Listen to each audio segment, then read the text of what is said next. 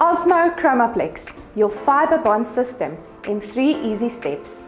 Start with the Color Save Bond Shampoo, mild for daily use with UV filters that protect the hair from environmental stresses.